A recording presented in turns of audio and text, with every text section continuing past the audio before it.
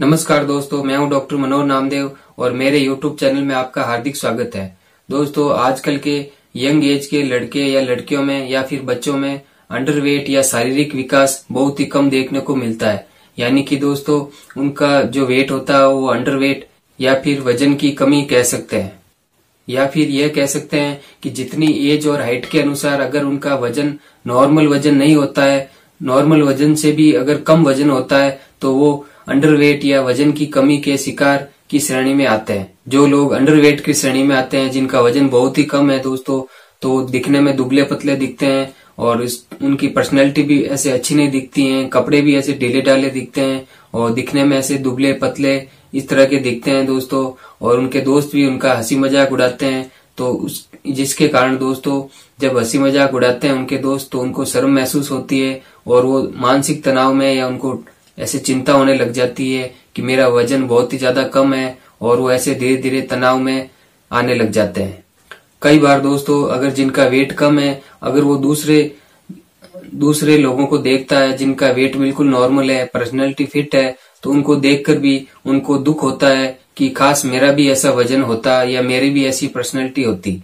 अब बात करते हैं वेट कम होने के क्या क्या कारण है और इसके साथ क्या क्या लक्षण है और अगर वेट कम होता है तो क्या रिस्क फैक्टर है? और इसके बाद मैं आपको ऐसी मेडिसिन बताऊँगा, जिसके यूज़ करने से आपका वेट है, वो बहुत ही जल्दी बढ़ जाएगा और आपके अंदर एक स्टेमिना बढ़ जाएगा और आपकी गुड पर्सनैलिटी दिखने लग जाएगी और आपके दोस्त जो पहले मज़ाक करते थे, वही आपसे पूछेंगे कि ऐसा कौन सा ट्रीटमेंट आपने लिया जिससे आपका इतना तेज़ी से वेट गेन कर लिया।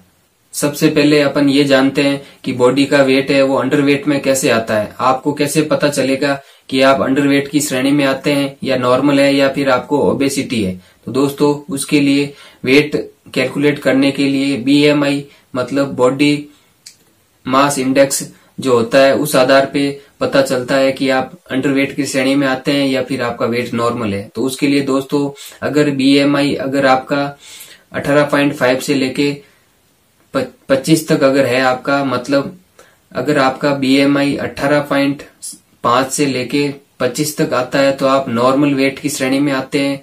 और अगर आपका 18.5 से अगर कम आता है बीएमआई तो आप अंडरवेट की श्रेणी में आते हो। मतलब आप में वेट की बहुत ज़्यादा कमी है। और इसके अलावा दोस्तों, अगर 25 से अगर ऊपर आती है बीएमआई तो आप ओबेसिटी में या फिर ओवरवेट में आते हो।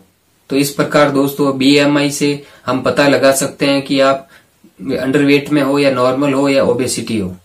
इसके बाद हम बात करते हैं दोस्तों, अंडरवेट होने के क्या क्या कारण है? मतलब ऐसे कौन कौन से कारण है जिससे आपका अंडरवेट है, वज़न कम है और वज़न बढ़ता नहीं है या फिर आपका वज़न लगातार घटता जा रहा है?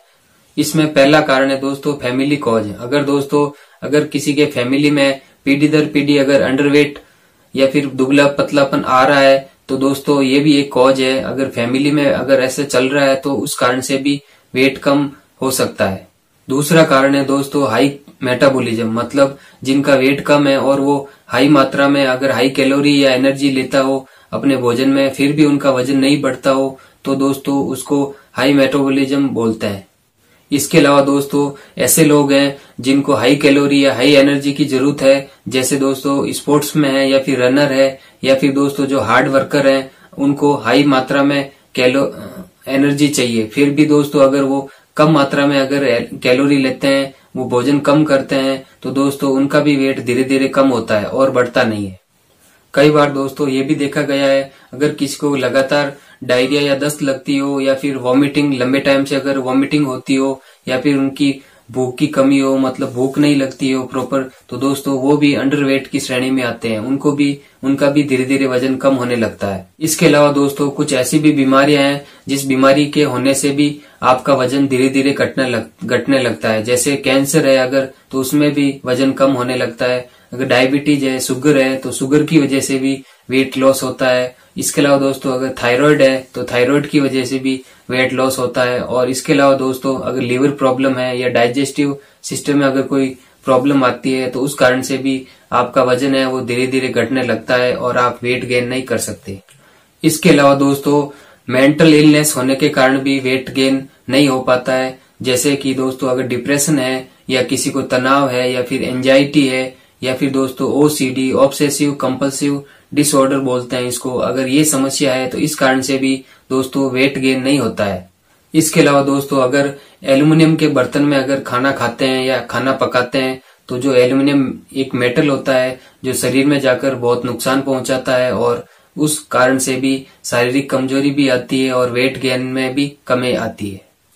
इसके बाद बात करते हैं दोस्तों, जिनका वेट कम है या जो अंडर वेट की श्रेणी में आते हैं तो उनको कौन कौन सी समस्या का सामना करना पड़ सकता है। तो दोस्तों इसमें सबसे पहली समस्या है अगर आपका वेट अगर कम है तो आप शारीरिक तौर पे कमज़ोर होंगे। आपकी इम्यूनिटी पावर है जो शारीरिक शक्ति है वो बिल्कुल वीक हो जाएगी और आप आपको जल्दी इन्फेक्शन हो सकता है दोस्तों। अगर दोस्तों इम्यूनिटी पावर वीक है अपनी जो रोग प्रतिरोधक क्षमता अगर कमज़ोर है तो उस कारण से आपको बार बार इन्फेक्शन होगा। आपको बार बार सर्दी जु, सर्दी जुकाम लग सकता है। आपके टॉन्सिलाइटिस हो सकते हैं या फिर दोस्तों बार बार आपको फीवर की समस्या हो सकती है। इसके अलावा दोस्तों, अगर न्यूट्रिशन की कमी के कारण भी दोस्तों, अंडरवेट की श्रेणी में आते हैं, क्योंकि जो लोग प्रॉपर न्यूट्रिशन नहीं ले पाते हैं तो उनका भी वज़न धीरे धीरे कम होने लगता है। तो दोस्तों, अगर प्रॉपर न्यूट्रिशन अगर बॉडी को नहीं मिलता है तो दोस्तों, एनीमिया की कंडीशन आती है मतलब खून की कमी हो जाती है शरीर में। जब दोस्तों, एनीमिया के अगर आप शिकार होते हो तो आपको शरीर में कमज़ोरी महसूस होती है, थकावट महसूस होती है, चक्कर आने लगते हैं, आपको आलस आने लगता है, पढ़ाई में मन नहीं लगता है, कोई भी काम करते हो तो जल्दी थक जाते हो तो इस प्रकार आपको एनीमिया की शिकायत रहती है। और जिन महिलाओं में अंडरवेट की समस्या है, वज़न कम है और उनके खून की कमी है दोस्तों तो उनको एमिनोरिया की प्रॉब्लम हो सकती है। और जिन लेडीज़ का अगर वे वज़न कम है, वो बिल्कुल दुबली पतली दिखती है दोस्तों तो उनको इनफर्टिलिटी की समस्या भी आ सकती है। मतलब निसंतानता का भी शिकार होना पड़ सकता है। और इसके अलावा प्रेगनेंसी में भी प्रॉब्लम आती है। इसके अलावा दोस्तों, अगर अपन अंडरवेट की बात करें, जिनका वज़न कम है तो उनको दोस्तों बालों की भी समस्या हो सकती है। बाल जड़ने लग जाएँगे और दांतों में प्रॉब्लम होगी दांत दर्द करने लग जाते हैं। इसके अलावा दोस्तों, अगर प्रॉपर न्यूट्रिशन नहीं मिलता है तो शारीरिक तौर पे दोस्तों मांसपेशियों को मजबूती नहीं मिलती है, हड्डियाँ भी कमज़ोर रहती है और हाइट भी नहीं बढ़ती है प्रॉपर अगर जिनका भी वज़न कम है तो उनको ओस्टियोपोरोसिस की शिकायत हो सकती है मतलब हड्डियाँ कमज़ोर होने लग जाती है।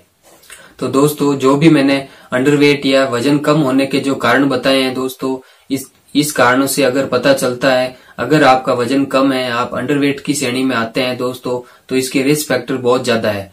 दोस्तों, अगर ओबेसिटी की बात करें, अगर मोटापा है तो उसमें रिस्क फैक्टर बहुत ही कम है। और अगर आपका वज़न बहुत ज़्यादा कम है तो आपके लिए बहुत ज़्यादा रिस्क फैक्टर देखने को मिलते हैं। अब बात करते हैं ट्रीटमेंट की। दोस्तों, अगर वेट कम है तो उसके लिए होम्योपैथी में एक ऐसा वेट गेनर आता है, जिसके यूज़ करने से आपका वज़न है वो बहुत तेज़ी से बढ़ता है और आप एक नॉर्मल कंडीशन में आ जाते हैं। जैसे पहला दिखते थे, वैसा पहले की तरह आप दिखने लग जाओगे और आपकी पर्सनैलिटी है वो बिल्कुल चेंज हो जाएगी और आपके अंदर स्टेमिना बढ़ जाएगा। और इसके साथ साथ अगर आपके मानसिक तनाव है वो भी मिट जाएगा और आप बिल्कुल अच्छा फील महसूस करोगे। मेरे पास ऐसे कई लोग आए जिनका वज़न बहुत ही कम था और उन्होंने कोई दूसरा ट्रीटमेंट लिया था। जब वो दवाई ले रहे थे, तब उनका वज़न लगातार बढ़ रहा था और जैसे ही उन्होंने दवाई बंद की तो उनका वज़न है वो तेज़ी से घटता गया और जैसे पहले था वैसा वापिस हो गया। तो दोस्तों, होम्योपैथी में ऐसा नहीं है। होम्योपैथी की अगर आप मेडिसिन यूज़ करते हो तो आपका वज़न है, वो धीरे धीरे बढ़ने लगता है। और जब आप मेडिसिन बंद करते हो तो आपका वज़न वहीं पे रहता है, वापस घटता नहीं है। तो अब बात करते हैं, वो कौन सी मेडिसिन है जिससे वेट बढ़ता है? तो दोस्तों, होम्योपैथी में सबसे पॉपुलर मेडिसिन है, वो है दोस्तों, होम्योपैथी की एल्फा माल्ट। जो आप देख रहे हो, ये एल्फा माल्ट को दोस्तों, वेट गेनर भी कहा जाता है। दोस्तों, इस एल्फा माल्ट को यूज़ करने से आपको, आपका जो वज़न है वो बिल्कुल नॉर्मल हो जाएगा और जो जैसा पहले था वज़न वैसा हो जाएगा और एल्फा माल्ट यूज़ करने से आपके जो पाचन तंत्र है, उनको मजबूती प्रदान करता है, उनको ठीक करता है और जो आपकी हड्डियाँ हैं, मांसपेशियाँ है, उनको भी मजबूती प्रदान करता है। और इसके अलावा दोस्तों, जो आपकी शारीरिक कमज़ोरी है या मानसिक कमज़ोरी है, मानसिक तनाव है, उसको भी ठीक करता है। और आपके शरीर में वाइटिलिटी और स्टेमिना को बढ़ाता है। अब बात करते हैं अल्फ़ा माल्ट को यूज़ कैसे करें, इसको कैसे लें दोस्तों? तो दोस्तों अल्फ़ा माल्ट को आप दो चम्मच सुबह और दो चम्मच शाम को लेने दोस्तों, अगर इस अल्फ़ा माल्ट को आप लगातार यूज़ करते हो रेगुलर लेते हो तो आपका वज़न है वो धीरे धीरे बढ़ने लग जाएगा और आप पहले जैसा नॉर्मल दिखने लग जाओगे। इसके अलावा दोस्तों, दूसरी मेडिसिन है एल्फा एल्फा क्यू दोस्तों होम्योपैथी में एल्फा एल्फा क्यू का वेट बढ़ाने के लिए बहुत ही अच्छा रोल है और बहुत ही अच्छा रिज़ल्ट मिलता है। तो दोस्तों एल्फा एल्फा क्यूब का भी आप पंद्रह पंद्रह बूंद, आधे कप गुनगुने पानी में दिन में तीन बार लेनी है, जिससे आपका वेट बढ़ने लगेगा और आपकी जो पाचन शक्ति है वो भी ठीक होगी। और इसके अलावा अगर आपको कोई भी प्रॉब्लम है तो वो भी ठीक होगी। इसके अलावा दोस्तों, अगर आपको वेट इससे भी जल्दी बढ़ाना है तेज़ी से अगर आपका वेट गेन करना है तो साथ में आपको एक्सरसाइज भी करनी है योगा करना है, और आप अपनी डाइट में कुछ चेंज करना है, जिससे आपको वेट जल्दी बढ़ जाए। तो जैसा कि दोस्तों, अगर आप हाई प्रोटीन और कार्बोहाइड्रेट डाइट लेते हैं तो उसमें आपका वेट बहुत ही जल्दी बढ़ेगा। इसके अलावा आपको अपने डाइट में फ्रूट वेजिटेबल्स वगैरह साथ में ऐड करने हैं, जैसे आप खजूर, बादाम, कैल्शियम और आयरन आपको ऐड करना है, जिससे आपका वेज जिससे आपका वेट है वो बढ़ने लग जाएगा। इसके अलावा अगर एल्यूमिनियम के बर्तन में अगर खाना पकाते हैं या खाते हो तो वो भी आपको बंद करना है, क्योंकि एल्यूमिनियम एक मेटल होता है जो शरीर को बहुत ही नुकसान पहुंचाता है। इसके बाद अगर आपका वज़न बहुत ज़्यादा कम है तो आपको थोड़ा थोड़ा करके खाना खाना है। एक साथ खाना कभी नहीं खाना है। आप स्मॉल क्वांटिटी में दिन में तीन बार या चार बार खाना खा सकते हो, जिससे आपका वेट है वो बढ़ने लगता है।